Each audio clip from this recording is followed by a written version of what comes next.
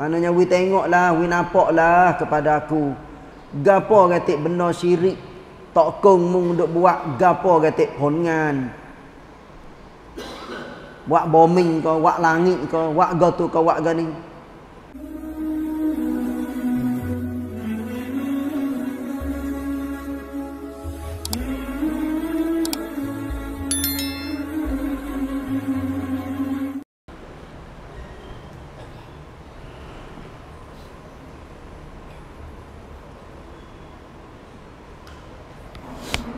أعوذ بالله من الشيطان الرجيم.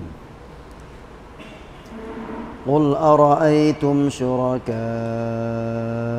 الذين تدعون من دون الله أروني ماذا خلقوا من الأرض؟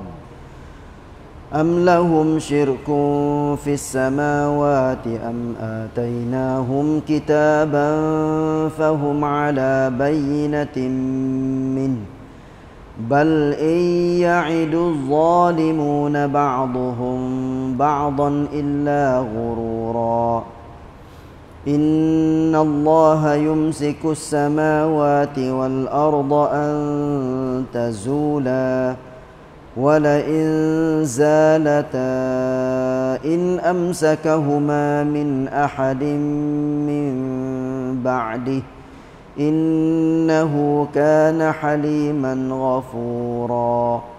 وأقسموا بالله جهد أيمانهم لئن جاءهم نذير لئن جاءهم نذير ليكونن أهدى من إحدى الأمم. فلما جاءهم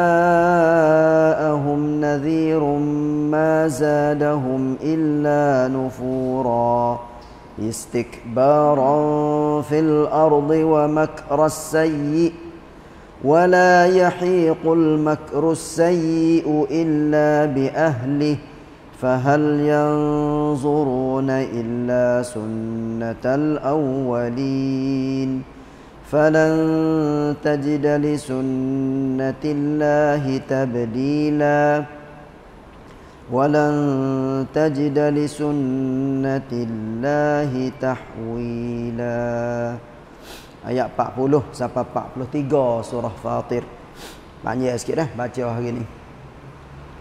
Allah Taala firman katakanlah wahai Muhammad Sudahkah kamu mengetahui kekuasaan dan kelayak ke makhluk-makhluk yang kamu jadikan sekutu-sekutu yang kamu seru dan sembah selain dari selain Allah? Ini suruh Nabi tanya orang musyrikin. Nabi pun tanya. Dia tanya orang-orang musyrikin tentang benar hak mereka itu dak sembah. Supaya kita lah ni tengok orang sia kita kita tanya orang sia. Mun sembah ga tu sembah ga ni. Bukan kita harang dengan dia, tapi kita gi lack plan. Hubungnya dengan sembah yang mereka itu sembah. Berilah aku lihat apakah yang mereka telah ciptakan dari bahagian bumi ini. Maknanya we tengoklah, we nampaklah kepada aku. Gapo katik benda syirik tak kong mung duk buat gapo katik hongan. Buat bombing ke, buat langit ke, buat gotu ke, buat gani. Ha tu nak ayat katanya tatai. Orang-orang musyrikin yang duk sembah benda hak tak menyawa. Atau berilah aku tahu adakah mereka mempunyai sebarang perkongsian dengan Allah dalam menciptakan dan menguruskan langit Tanya juga. Ada ke tak benda-benda syirik saat ni? Duk kosi dengan Allah Ta'ala. Nah, dalam buat makhluk, gotu gani dan sebagainya.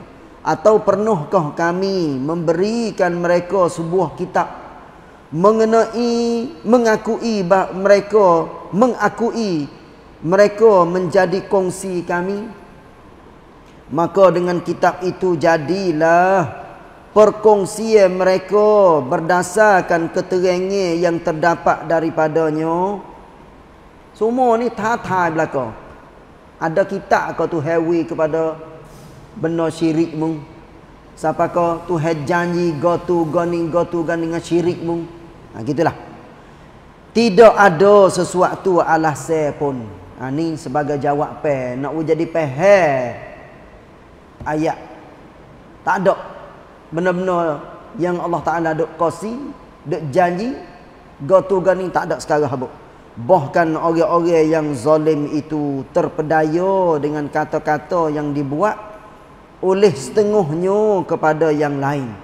Pakat duk kecek pergi mari sejak daripada Ustaz Jamil ni. Daripada tok nenek dah tahu apa ratus lapis dah. Kecek royak, kecek royak laulu, go to goning, go to goning. Siapa ke hari ni dan siapa ke hari kiamat. Pakat duk kecek, kecek duk amal duk buat mengikut gapo hak laulu cak ban paburuk. Itulah. Allah Taala royak seguguh so ayat meriputi sejarah kekufuran manusia sejak daripada dulu sampai ke akhir dunia. Duk dalam so ayat Masya-Allah Kata-kata yang hanya menjanjikan perkara yang tidak benar. Maknanya Hodok kecek tu Adalah Plom kau. Tak ada benda hak betul Tak ada benda hak benar. Ni atas dunia Pisu tak boleh. Atas dunia Semua agama Dia yakin katanya agama dia betul. Walaupun Quran Duk royak Cabar mereka. Tapi kita nak pisut kau tet jing mari duduk depan. Maknanya ambil benar hak Quran duk cabar kadang-kadang tak boleh bawa semua 100% bahkan kita takutnya bosan orang kafe dia faham katanya Islam ni duduk yet yam agama mereka. Domin do tu agama mereka. Sebab tu gapo hak kita boleh kecek sekadar katanya lek klien ความคิดเห็นก็ตูก็นี่ hak tu boleh tapi nak pergi sampai luang dalam lebih pada tu lagi hak ni kena sampai ke berdebat dia panggil tawati di antara orang kafir dengan orang Islam ha apa tak tajuk tertentu ha ko Tuhan ni ha ibadat ha apa ha tu sebab tu nak kepada orang Islam yang bijak akal kecek untuk berhujah dengan orang kafir kalau siapa setara tu. Tapi kalau biasa-biasa jangan sama sekali kita dok pergi hino agama mereka. Sebab apa? Ambil dasar lakum dinukum waliyadin. Jelah. Sud. Sin sud. Hubungi dengan agama. Agama mereka, agama mereka, agama kita, hak kita. Amallah mengikut agama masing-masing. Kita pun tak kenal juga. Orang kafir mari duk hino agama kita. Dok kata go tu kata gani. Kita pun orang Islam jangan kata kepada agama mereka. Jangan hina agama mereka. Tapi kita yakin apa yang Allah Taala royak ni akan lebih jelas dan sejelas-jelasnya apabila siapa di akhirat sikit lagi. Semua orang kafir, semua orang musyrikin dia kecek minta dengan Allah dengan perkataan eh Rabbana. Semua dalam Quran. Orang kafir kecek di akhirat sikit lagi Rabbana. Wahai Tuhan kami. Wahai Tuhan kami. Mengaku Allah di akhirat tapi di dunia dia tak mengaku Allah. Tak ada dalam hati mata siau dia tak ada. Dalam hati mereka Allah sebagai Tuhan sebab tu kita sebagai umat Islam orang Islam yang mengaku Allah sebagai Tuhan maka kita kena pegang dengan sekuat-kuat, seyakin-yakin katanya Allah yang mengatur semua makhluk dia dan termasuknya manusia. Dan dia pilih kepada kita agama yang cuci bersih, agama yang betul benar. Alhamdulillah. Ini ayat yang ke-40. Mari ayat yang ke-41. Allah lah ayat katanya kalu. Maka-maka. Sesungguhnya Allah jaga langit dan bumi. Kalau sekiranya langit tu en iang ataupun langit tu runtuh, tidak ada siapa yang boleh mari kuap kum dulai langit semula dan ada lagi lepas pada ni. Ha cuba kita tengok. Sesungguhnya Allah menahan dan memeliharakan langit dan bumi supaya tidak berganjak. Maknanya tak kocok, tak tak tak rutuh. Dia masih lagi duk kokum. Lalu rabub dia semua. Kita nak katanya cakawan, mai cai cakawan, mai cai galaksi. Lebih besar daripada galaksi lagi. Galaksi ni artinya muon Bite matahari boleh gotu goni duduk sekali dia panggil galaksi kalau cakawan nah Melayu kita pun panggil cakrawala iaitu matahari duduk tengah. Ada dau put ada dau suk ada long ada dau perhat ada pluto ada banyak-banyak lagi. Duang dau ada di keliling matahari yang dikira katanya kecil ya dia panggil cakawan. Apatah lagi? Bite mata Allah alam kita tak pandai nak disebut tapi sebut pandai katanya benar hak duduk di bawah langit. Yang sangat-sangat banyak berjuta-juta bite tak pandai kita nak disebut Allah pun rakyat katanya dia masih lagi duk jaga benda tu tak kocok tak punuh. Duk kocon musim.